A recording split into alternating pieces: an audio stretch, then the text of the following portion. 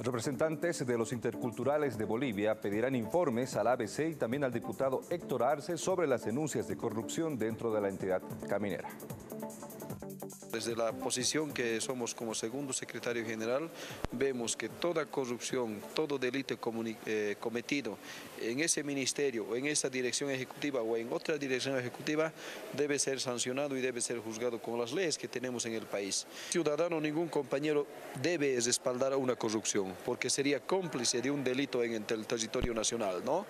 Bueno, eh, ya en su debido momento se evaluará, se analizará con los documentos en la mano, porque no podemos antecedernos nosotros vamos a pedir un informe mediante un memorial como la dirección ejecutiva de ABC, de la misma manera al, al parlamentario Héctor Arce para que pueda brindarnos un informe y bajo ese informe daremos nuestra posición en cumplimiento de la norma y la ley para que podamos también ser parte de la denuncia o también parte de lo que la información que recibamos.